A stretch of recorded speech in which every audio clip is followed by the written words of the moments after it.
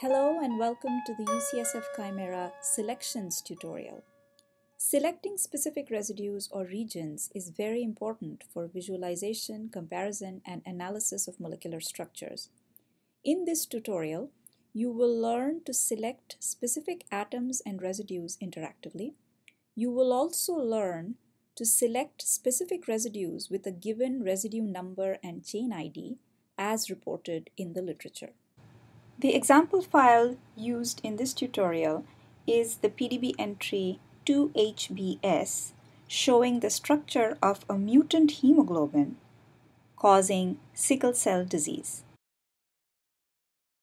To understand the structural basis of sickle cell disease, let's explore the interface between the two hemoglobin molecules. Notice here that in the current presentation, there is a side chain that is shown at the interface very close to a heme group.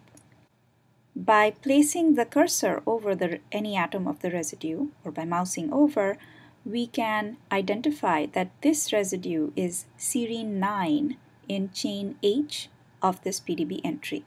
To select any atom in this residue, press Ctrl and left mouse click, broaden the selection by clicking on the up arrow or narrow it by clicking on the down arrow. The right arrow inverts the selection and the left arrow undoes the last selection action. To select multiple atoms simultaneously, press on the Shift Control and click with the left mouse button on any of the atoms that you would like to select. To select a large area, keep the control button pressed and drag the left mouse button pressed to show a rectangle. All residues in that rectangle will be selected as highlighted here. With the control button pressed, clicking on an area outside the region of the molecule deselects or removes the selection. The literature reports the sickle cell mutation as E6V, meaning the glutamate has been mutated to valine at position 6 in the hemoglobin beta chain.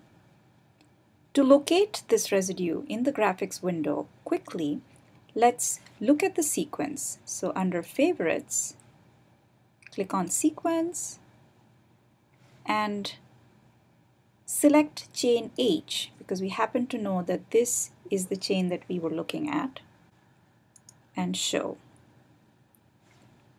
This shows the entire chain H's amino acid sequence.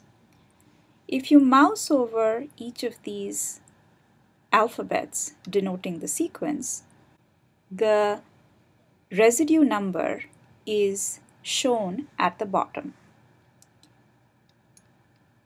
Click and drag on valine 6 and see this residue highlighted in the graphics window.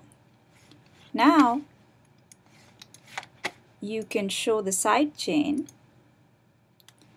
and focus on it to examine it closely. For additional help and instructions, review the UCSF Chimera documentation and tutorials.